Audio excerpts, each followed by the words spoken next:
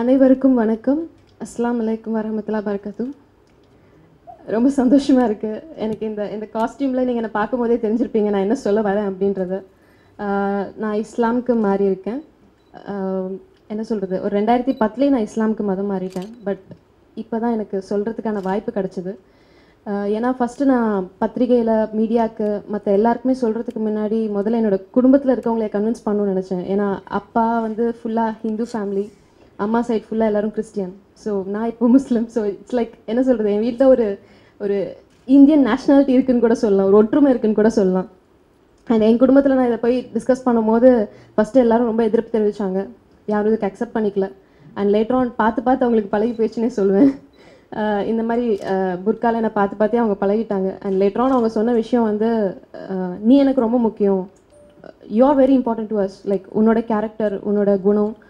And நீ எங்கள் குடும்பத்தில் எல்லாருக்குமே வந்து ரொம்ப முக்கியமான ஒரு பொண்ணு. ஸோ உனக்காக வந்து நாங்கள் வந்து அந்த மதம் ம- மற்ற விஷயங்களுக்காகலாம் வந்து உன்னை நாங்கள் எந்த ஒரு காரணத்துக்கும் விட்டு கொடுக்க முடியாது அப்படின்ற ஒரு விஷயம் சொன்னாங்க. என்னோட சிஸ்டர்ஸ் என் கசன் சிஸ்டர்ஸ் எல்லாம் சொன்னாங்க. சவிதா கனித்யாக்கெல்லாம் ஸோ நான் நிச்சயமாக அதை மறக்க மாட்டேன். ஸோ வித் மை ஃபேமிலி சப்போர்ட்டோட இப்போ இன்னைக்கு உங்கள் எல்லார்கிட்டயும் இந்த விஷயத்த சொல்கிறதுல நான் ரொம்ப சந்தோஷப்படுறேன். அண்ட் கண்டிப்பாக இஸ்லாம்க்கு ஏன் மாறணும் அப்படின்றத பற்றி சொல்லி ஆகணும். அதுக்கு முன்னாடி உங்களுக்கே வந்து மைண்டில் அங்கங்கெல்லாம் பல்ப் எரியும்னு நினைக்கிறேன். கண்டிப்பாக வந்து இவங்க ஒரு பையனை லவ் பண்ணதுனால மாறி இருப்பாங்க. இல்லை ஒரு துபாயில் ஒரு பெரிய என்ன சொல்கிறது ஷேக். யா துபாயில் ஷேக் தான் இருப்பாங்க. ஸோ துபாயில் இருக்கிற பெரிய ஷேக்கு கல்யாணம் பண்ணியிருப்பாங்க. இல்லை கல்யாணம் பண்ண போகிறாங்க எங்கேஜ் ஆகிருப்பாங்க ஸோ இந்த மாதிரியானதெல்லாம் நல்லா தலையாட்டுறீங்க கரெக்ட் ஸோ இந்த மாதிரிலாம் விஷயம் நீங்கள் நினைப்பீங்க. பட் என்னை பொறுத்த வரைக்கும் நான் அந்த மாதிரி ஒரு பொண்ணு கிடையாது. இந்த மாதிரி சிலி விஷயத்துக்கு மாறுற மாதிரியான பொண்ணு கிடையாது. எந்த ஒரு விஷயமா இருந்தாலும் அது கரெக்டாக இருந்துச்சுன்னா மட்டும்தான் அதை நான் செய்யணும்னு நினைப்பேன். இல்லைன்னா அதை செய்ய செய்ய மாட்டேன். அது அந்த அளவுக்குலாம் எனக்கு தைரியம் கிடையாது. நான் வந்து ரெண்டாயிரத்தி ஏழில் எங்கள் அப்பா இறந்ததுக்கப்புறம் நிறைய இடங்களுக்கு வந்து எல்லா இடத்துக்கும் தனியாக போக வேண்டியது இருந்தது. என்னோடய பர்சனல் லைஃப்ல நிறைய இடங்களுக்கு தனியாக போக வேண்டியது. ப்ரொஃபஷனலில் போகும்போது பிரச்சனை இல்லை. பட் பர்சனல் லைஃப்பில் வந்து நம்ம சில மார்க்கெட்ஸ் பர்சனல் லைஃப்பில் இருக்கிற நம்ம ஃபேஸ் பண்ணுற எல்லா இடங்களுக்குமே அதாவது ஃபுட் மார்க்கெட் ஃபிஷ் மார்க்கெட்ஸ் நிறைய பப்ளிக் க்ரௌட் இருக்கிற இடங்கள் ரங்கநாதன் ஸ்ட்ரீட் இந்த மாதிரி இடங்களுக்குலாம் தனியாக போகும்போது ரொம்ப கஷ்டமாக இருந்தது. ஏன்னா பீங் ஆக்ட்ரஸ் உங்களுக்கே தெரியும் எல்லாம் எப்படி ரெஸ்பான்ஸ் பண்ணுவாங்க அப்படின்னு. அண்ட் நார்மலாகவே ஒரு பொண்ணு போனால் கேலி கிண்டல் அதெல்லாம் it's all just for fun எல்லாமே இருக்கும். ஸோ அந்த மாதிரி நிறைய விஷயத்த நான் ஃபேஸ் பண்ண வேண்டியது இருந்தது. ஸோ நான் அப்போ வந்து ஒரு சேஃப்டிக்காக நம்ம புர்கா வேர் பண்ணலாம். ஸோ அது நமக்கு ஒரு கம்ஃபர்ட் லெவல் கொடுக்கும் அப்படின்னு சொல்லி நான் புர்கா வேர் பண்ண ஆரம்பித்தேன் ஸோ புர்கா வேர் பண்ணிட்டு இருக்கும்போது வேர் பண்ணதுக்கப்புறம் எனக்கு ஒரு நல்ல ஒரு கம்ஃபர்ட் லெவல் இருந்தது. வெளி இடங்களில் இந்த மாதிரி போகிறதுக்குலாம் வந்து எந்த ஒரு ஒரு டிஸ்டர்பன்ஸும் இல்லை. மைண்ட் ரொம்ப ஃப்ரீயாக ரிலாக்ஸ்டாக இருந்தது. போன வேலையே டக்குன்னு முடிச்சுட்டு டக்குன்னு வர மாதிரி இருந்தது. யாரோட தாட்ஸ் பற்றி கேட்க வேண்டியதில்லை அந்த மாதிரி ஒரு சுச்சுவேஷன் இருந்தது. தென் புர்கா வேர் பண்ணாமல் அதுக்கப்புறம் சில நாட்களுக்கு அப்புறம் போகும்போது ரொம்ப மனசு இறுகின மாதிரி லைக் ஏதோ சம்திங் ஒரு நமக்கு பிடிச்ச ஒரு விஷயத்த மிஸ் பண்ண மாதிரி ஒரு ஃபீல் இருந்தது. ஸோ அதுதான் எனக்கு ஃபர்ஸ்ட் ஃபர்ஸ்ட் என் மைண்டில் ஒரு ஒரு ஒரு மைண்டில் வந்து இஸ்லாம் பற்றி தெரிஞ்சுக்கணுன்ற ஒரு முதல் ஒரு ஸ்ட்ரைக் அப்படின்னு சொல்லணும்னா அந்த விஷயம்தான். ஏன்னா நான் அந்த டைமில் வந்து எனக்கும் இஸ்லாம்னா வந்து பொதுவாக எல்லாரும் சொல்கிற மாதிரி ஒரு தீவிரவாதம் அந்த மாதிரி இந்த மாதிரிலாம் ரொம்ப பேடாக தான் நானும் திங்க் பண்ணிகிட்டு இருந்தேன். ஸோ எனக்கு அது அக்செப்ட் பண்ணிக்கிற தாட்லலாம் நான் இல்லை. ஸோ பட் என்னமோ சம்திங் இருக்குது ஒரு புர்கா வேர் பண்ணாலே நமக்கு இவ்வளோ சந்தோஷம் இருக்கும்போது அந்த இஸ்லாம் பற்றி நம்ம தெரிஞ்சுக்கிறதா என்ன என்ன அதை பற்றி நிறைய தெரிஞ்சுக்கணும் அப்படின்ற ஒரு ஆர்வம் ஏற்பட்டுச்சு. அதாவது இஸ்லாம் பொறுத்த வரைக்கும் குரானில் ஆயிரம் ஹதீஸ் இருக்குது ஆயிரம் உண்மைகள் இருக்குது அது எல்லாமே வந்து விஞ்ஞானத்தோட சம்மந்தப்பட்ட ஒரு விஷயமா இருந்தது. ஃபார் எக்ஸாம்பிள் குரான் புத்தகத்தில் இன்னைக்கு உலகம் எப்படி வந்துச்சு உலகத்தில் என்னென்ன நடக்கும் உலகம் அழியறதுக்கு முன்னாடி என்னென்ன சாட்சிகள்லாம் இருக்குது ஐ மீன் என்னென்ன சிம்டம்ஸ் எல்லாம் இருக்கும் அப்படின்ற எல்லா விஷயத்தையுமே நான் வந்து குரானில் ரெஃபர் பண்ணேன்.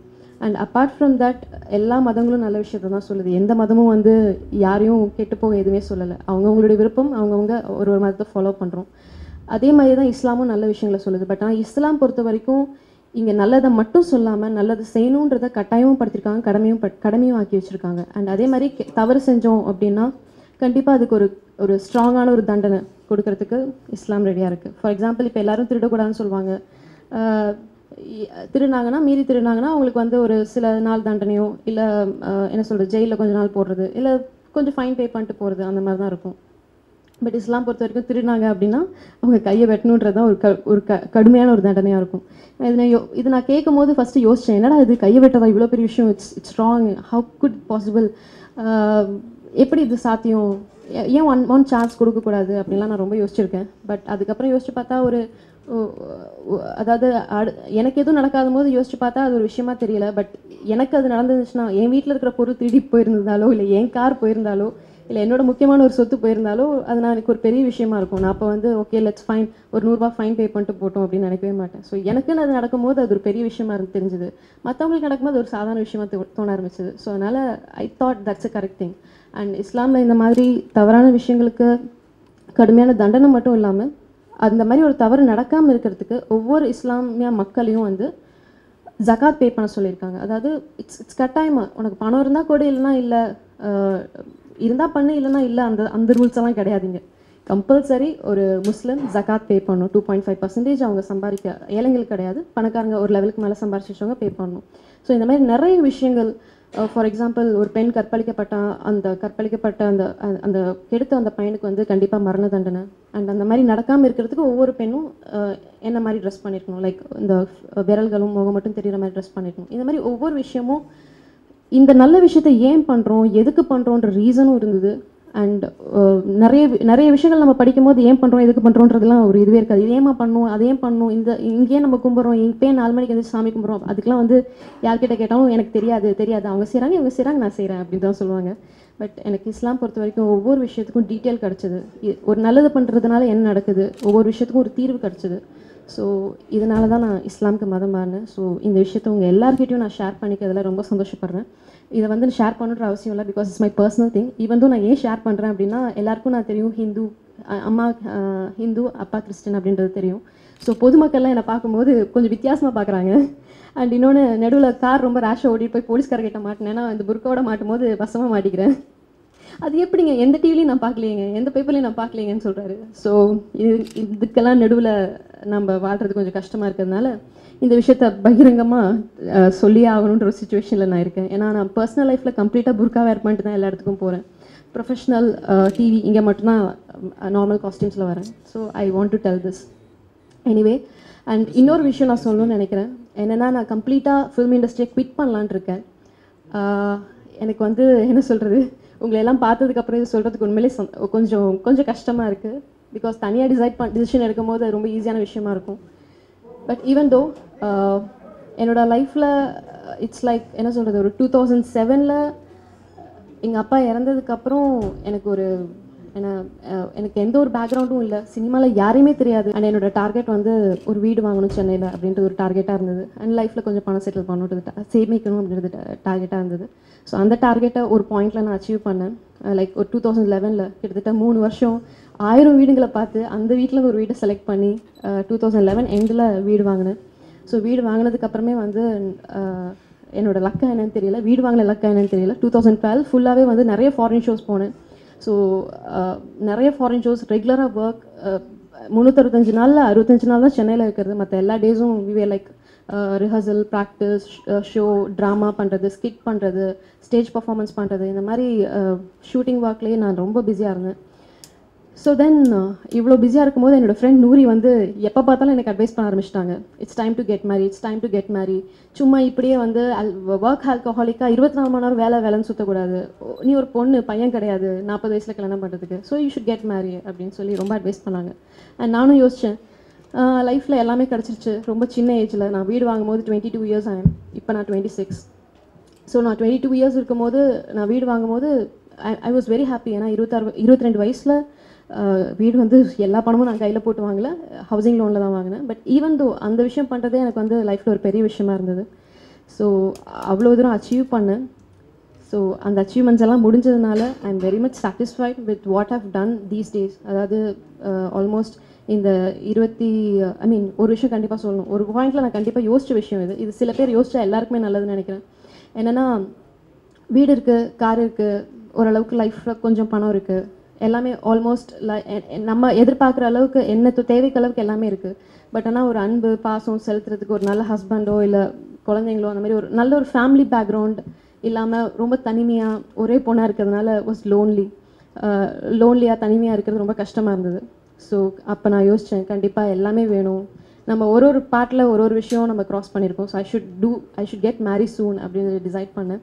And then two thousand thirteen ஃபுல்லாக வந்து ரெண்டு நாள் ஷூட்டிங் மூணு நாள் ஷூட்டிங் இருக்க படம் மட்டும்தான் கமிட் பண்ணேன். ஏன்னா பெரிய பெரிய டேட்ஸ் உள்ள ஃபிலிம்ஸ் கமிட் பண்ணோன்னா ஆல்மோஸ்ட் டூ த்ரீ இயர்ஸ் ஆகிடும் அந்த ஃபிலிம் கம்ப்ளீட் ஆக. ஸோ எனக்கு மைண்டில் டிசைட் பண்ணிட்டேன். ஐ மீன் கல்யாணம் பண்ணதுக்கப்புறம் போய் நடிக்கிறது வந்து பண்ணவே கூடாது. ஏன்னா அது ஐ டோன்ட் நோ எனக்கு அது ரொம்ப கூச்சமான ஒரு விஷயமா இருந்தது. So I thought okay fine let's let's quit அப்படின்ட்டு டூ தௌசண்ட் தேர்ட்டீனில் கொஞ்சம் கொஞ்சமாக கொஞ்சம் கொஞ்சமாக படங்களை அவாய்ட் பண்ணேன். அண்ட் இப்போ டூ தௌசண்ட் ஃபோர்டீனில் கம்ப்ளீட்டாக நான் சொல்ல விரும்புகிறேன் நான் படங்களை கம்ப்ளீட்டாக ஸ்டாப் பண்ணுறேன் அப்படின்னு. ஏன் இதை ரொம்ப இதாக சொல்கிறேன் அப்படின்னா எனக்கு நிறைய கால்ஸ் வந்துட்டுருக்கு டெய்லியும். ஒவ்வொரு படங்களுக்காகவும். ஆல்மோஸ்ட் விஜய் சேதுபதி நந்தா அதுக்கப்புறம் வ வருத்தப்படாத வாலிபர் சங்கம் வந்து கன்னடா லாங்குவேஜில் இந்த மாதிரி நிறைய படங்கள் ஆஃபர்ஸ் வந்துக்கிட்டே தான் இருந்தது. டிவியில் ஐ மீன் படத்தில் நடிக்கிறது மட்டும் இல்லாமல் டிவியில் ஷோஸு சீரியல்ஸ் எல்லாத்துக்குமே ஆஃபர்ஸ் எனக்கு வந்துகிட்டே தான் இருந்தது. ஸோ எல்லாத்தையுமே அவாய்ட் பண்ணுறதுக்கு நான் ஒரு ஒரு ரீசனாக சொல்கிறதா இருக்கிறனால கம்ப்ளீட்டாக நம்ம ப்ரெஸ்ஸில் சொல்லிட்டோன்னா அவங்க கால் பண்ண மாட்டாங்க. அன்லஸ் அவங்களுக்கும் அந்த இவங்களை வச்சு பண்ணணும்னு ஒரு ஸ்கிரிப்ட் ரெடி பண்ணுற அந்த மாதிரி விஷயம்லாம் இருக்காது. ஸோ அதனால் நான் எல்லாத்துக்கிட்டையும் சொல்லணும்னு விரும்புகிறேன் and one more important thing almost twenty six இயர்ஸில் இருபத்தி ரெண்டு வருஷம் நான் சினிமா இண்டஸ்ட்ரியில் தான் இருந்திருக்கேன். ரெண்டரை வயசில் ஆரம்பிச்சு அவசர போலீஸ் நூறுன்ற படம் மூலமாக uh, பாக்கிரா சாரோட இன்ட்ரடக்ஷனில் இன்ட்ரடியூஸ் ஆகி and Kamal Haasan sir Rajinikanth sir Sarathkumar sir Ajith sir இவங்க எல்லாரையும் க்ராஸ் பண்ணி இவங்க எல்லாரோடையும் நடித்து க்ராஸ் பண்ணி அண்ட் அழகி மூலமாக தங்கபச்சன் சார் மூலமாக அழகி படத்தில் இன்ட்ரடியூஸ் ஆகி சொல்லப்போனால் அழகி படம் ஒரு படம் தான் வந்து எனக்கு இன்றைக்கி ஃபுல்லாக இவ்வளோ தூரம் நான் லைஃப்பில் ட்ராவல் பண்ணுறதுக்கு பெரிய அளவு சப்போர்ட்டாக இருந்திருக்கு. ஸோ இவ்வளோ தூரம் நான் ட்ராவல் பண்ணியிருக்கேன்னா அதுக்கு என்னுடைய எல்லா படங்களும் ஒரு ரீசன் முக்கியமான ஒரு படம் தான் அது கண்டிப்பாக அழகி படத்தை நான் சொல்லுவேன். ஸோ இந்த மாதிரி நிறைய படங்கள் ஒர்க் பண்ணியிருக்கேன். Almost nine almost sixty nine films வந்து நான் இது வரைக்கும் ஒர்க் பண்ணியிருக்கேன். ஃபிஃப்டியை க்ராஸ் பண்ணிட்டேன். ஸோ ஹாஃப் செஞ்சுரி நான் க்ராஸ் பண்ணியிருக்கேன். எனக்கு ரொம்ப சந்தோஷமாக இருக்குது uh, ரொம்ப ரொம்ப யங் ஏஜ்லேயே வந்து ஒரு சிக்ஸ்டி நைன் வரைக்கும் நான் பண்ணியிருக்கேன் அப்படின்னும் போது I am really very much happy about it and இந்த படங்கள் எல்லாமே ரிலீஸான படங்கள். இப்போ பண்ணிட்டு இருக்கிற படங்கள்லாம் நாங்கள் லிஸ்ட்டில் எடுக்கவே இல்லை. ஸோ ஆல்மோஸ்ட் செவன்ட்டியை க்ராஸ் பண்ணிடுவேன்னு நினைக்கிறேன். ஸோ இந்த that I'm really very much happy about it ஏன்னா இவ்வளோ தூரம் நான் ட்ராவல் பண்ணியிருக்கேன்னா அதுக்கு எல்லா இயக்குநர்களும் காரணம் எல்லா ப்ரொடியூசர்ஸும் காரணம். ஸோ அவங்க எல்லாருக்கும் நான் பெரிய நன்றியை தெரிவிச்சுக்கிறேன்.